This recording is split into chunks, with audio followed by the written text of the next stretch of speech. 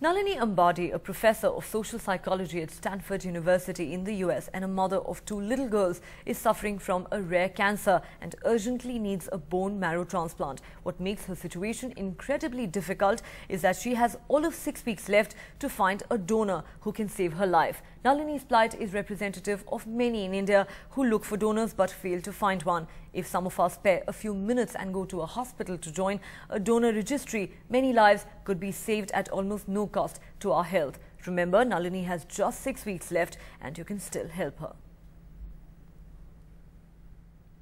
Nalini Ambady, a brilliant professor of social psychology at the prestigious Stanford University in California, has just six weeks to find a donor to save her life. All she needs are a few cells. This mother of two little girls suffers from a rare blood cancer and is on chemotherapy. To survive, she needs a bone marrow transplant at the earliest.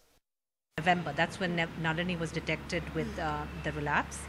And they have been conducting drives there in various colleges, university towns. When we found no match there, we turned to India because the chances and the probability, probability of finding a match is highest in Kerala and among the Malayali population. Usually, siblings are the perfect donors, but in Nalini's case, they weren't a match. Though America has a large bone marrow bank, there aren't many South Asian samples. Doctors felt that she had better chances of finding a match among Malayalis from India's Nair community. Her friends have put up a dedicated Facebook page to find such a donor and have even held special camps in Kerala and Mumbai to get more and more people to register as donors. My best estimate is we've got somewhere around 200 swabs in, in, in Bombay so far. Uh, maybe up and down a bit, but somewhere around there. And, you know, I'm expecting, I would hope for many more. We've got kits enough for at least another 300 or so easily. Uh, I don't know whether we'll get that many. We're trying hard in every way we can but it's you know it's sometimes difficult to get people to come. Sisters Minnie and Sanya volunteered to get their samples tested after reading an advertisement in the local newspaper. You will help uh, Nalini in newspaper. Okay. Yes. Do you know about what is the disorder that is she facing and yes, how you can provide? Yeah, her? I know, I know. What? And he explained also. Okay. Do you know anything about Professor Nalini?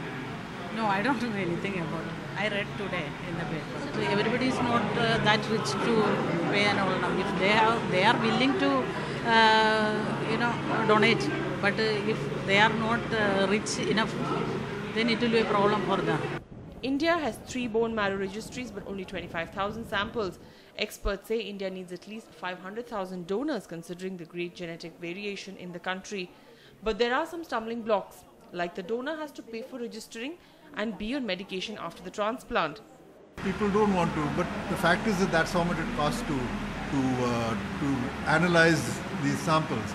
This kind of thing to expand in a large scale, which is necessary, it's not possible without government intervention because no private person can afford these kind of fees. The first thing is the family says no because they feel that you know unwanted.